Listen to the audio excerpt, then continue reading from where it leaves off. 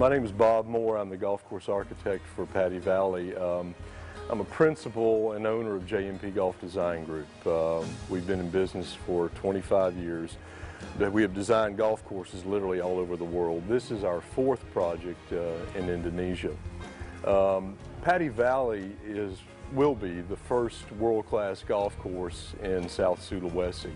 The golf course is being constructed to um, absolutely first-class standards uh, USGA greens construction, which is the excuse me world standard for golf course greens construction. Uh, drainage throughout the golf course is extensive. Uh, we're sand capping our fairways so that we'll have year-round play.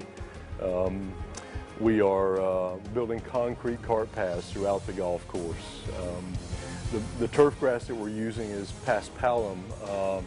Paspalum is by far the finest warm season turf grass available. It is the most beautiful turf grass um, available in the market today and it is extremely expensive.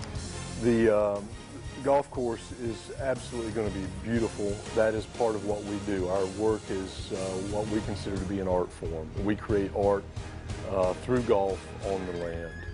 Uh, from a playability standpoint, we're incorporating five sets of tees into the golf course. Uh, from the forward tees, uh, juniors, ladies have an absolutely fantastic round of golf. And then as you step back in length on the tees, you can challenge yourself to, you know, to the tournament tees, which are the very back tees on the golf course. And from the back tees, Padivalley will be able to host virtually any tournament uh, it chooses. The Indonesian Open, any Asian golf tour event uh, can be hosted here at Padivalley.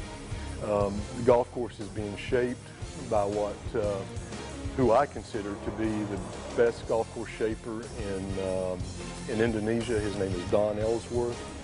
Um, I think at the end of the day, with all the effort, all the construction quality, um, all the attention to detail, uh, this is truly going to be a world-class golf course.